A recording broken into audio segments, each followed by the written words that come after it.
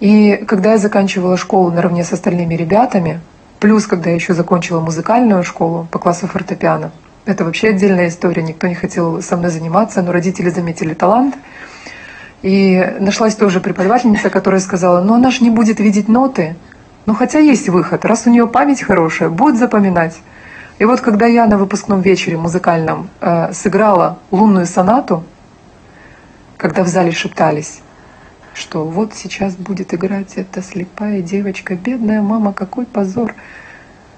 Ну, в общем, когда я сыграла лунную сонату, все стали хлопать, и мама так повернулась и увидела, что в зале такое мягкое онемение у всех. То есть эм, это было такое вот э, не, негласное, скажем так, э, без того, чтобы что-то говорить, демонстрация того, что каждый человек вне зависимости от того, какие у него есть проблемы со здоровьем, я повторюсь, не инвалидность.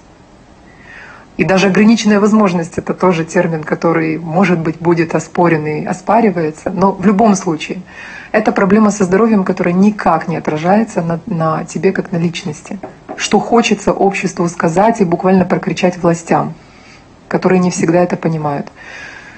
Поэтому, заканчивая школу, я переехала в Кишинев с маленьким чемоданчиком. Родители остались в Каушанах.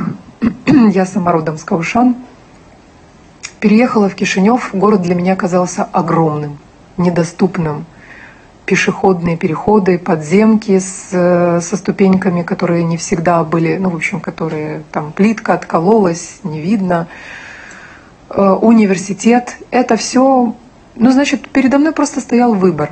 Месяц испытательный срок. Подали документы, все, меня приняли. Конечно, тоже были проблемы. Давайте будете учиться на дому, мы вам все учебники дадим. Ну, в общем, всегда люди стараются найти выход легкий для себя. Но мы легких путей не, не искали. Э, я просто сказала себе так. Если я вот за эти пару месяцев э, первого высшего образования не выдержу, значит, э, как говорится, как говорит моя сестра, попозже вализа, вализа шакаса. Вот так именно, так именно я себе поставила цель. Конечно, были звонки каждый вечер, первые месяцы обучения маме. Я плакала и говорю, наверное, все-таки поеду домой. Ну и найдем что-нибудь дома, какую-нибудь работу для меня. Ну, что-то придумаем. Но, вы знаете, как-то стала втягиваться. И стала понимать, что если не я, то кто? Ну, каждый сам кузнец своей жизни, как говорится. Каждый сам себе режиссер. Я могла, конечно, сделать так, чтобы за меня решал кто-то другой. Положиться на родителей, чтобы они за меня сделали все, кормили меня, поили меня. Очень удобно, легко, просто. Почему бы и нет? Но уже в тот момент я понимала, что если я сейчас себя не переломлю и не пойду дальше, ну, тогда что, что тогда будет? Что из меня выйдет и какая жизнь меня ждет? Поэтому со всеми психологическими такими вот э, тараканами, скажем так, я пошла дальше, и я понимала, что мне нужно прежде всего общаться с преподавателями, объяснять им, э, как я хочу, чтобы были адаптированы материалы. Они этого не знают. Я изначально злилась на них, а потом подумала, чего я злюсь. Они не знают, надо их информировать. И с этого, в принципе, все и началось, с информации. Я общалась с преподавателями, с коллегами, с э, деканатом, и изучая два иностранных языка, английский и немецкий, тут тоже была веселая история, что когда я поступала, мне сказали, зачем тебе два иностранных языка с таким зрением?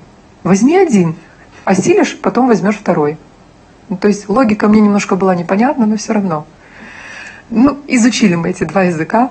Но факт в том, что этот университет очень мне помог и стал для меня очень хорошей платформой. И язык, языки иностранные помогли мне развить мою память еще лучше.